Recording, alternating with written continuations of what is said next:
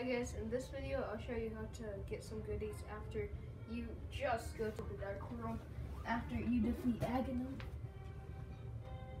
So first of all, you can get a heart piece down there.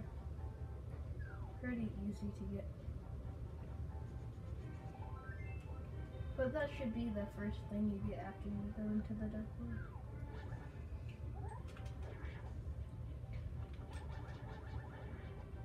And then I think there's really only one more thing that you can get. But this will be mandatory later on in the game. It is the Quake Medallion.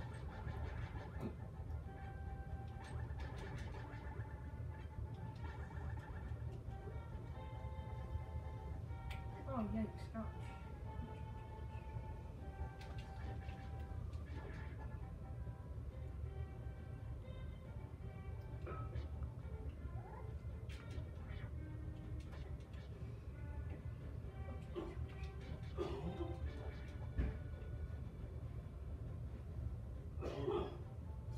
Go over here, lift up this rock, like you're going to the waterfall of Sora, but that's not what you're doing. Ah, evil rock.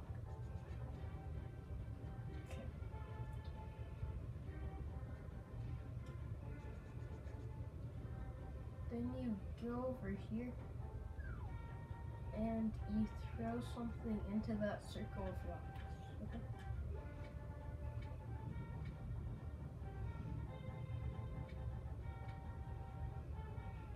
This catfish comes up. Was it you who disturbed my peaceful nap? I will give this to you if you go away. He gives you the Quake Medallion. This is the Quake Medallion. Its magic causes the ground to shake and defeats nearby enemies. Watch your magic meter. And then if you throw something into his pond again.